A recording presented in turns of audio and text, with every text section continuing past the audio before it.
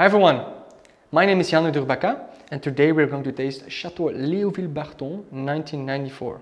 Let's taste.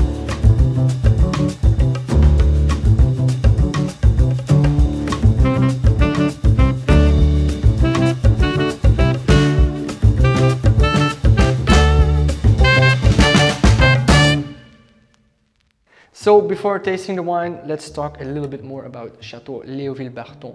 Léoville Barton is a very well-known wine producer in Saint-Julien.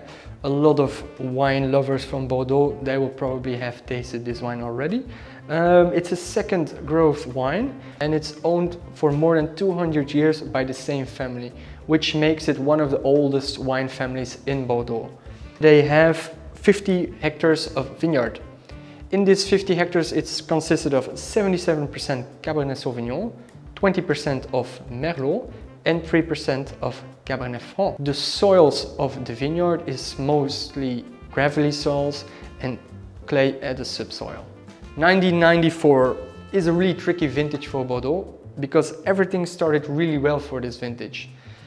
After a really dry and hot summer and a few weeks before the harvest, a heavy rainfall hit all the vineyards of Bordeaux, of course, and some wine producers needed to sacrifice between 30 and 50% of their crop. So let's taste the wine. First of all, it's just amazingly very vibrant red. It's like a little bit of garnet and it's very hard to, to see some even brownness. I have some small, very small rim of brown at the border, but that's it. And for a 94 vintage, I'm really surprised on the nose.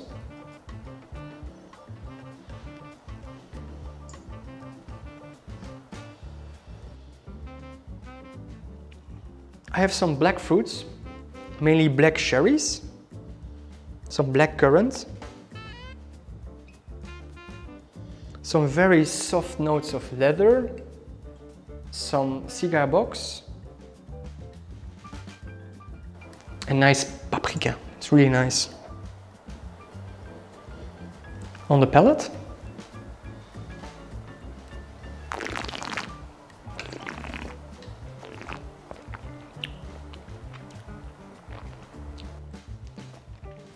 Really well balanced.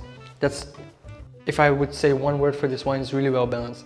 So, first of all, you have the attack. It's really powerful actually.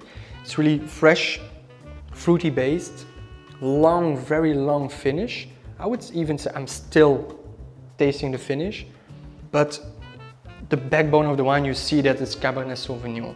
They still provide a lot of freshness to the wine, even for the 94, which is really shocking for me, but yet again, it's Léoville Barton. And next to all those freshness, you still have some fruity left of blackberries.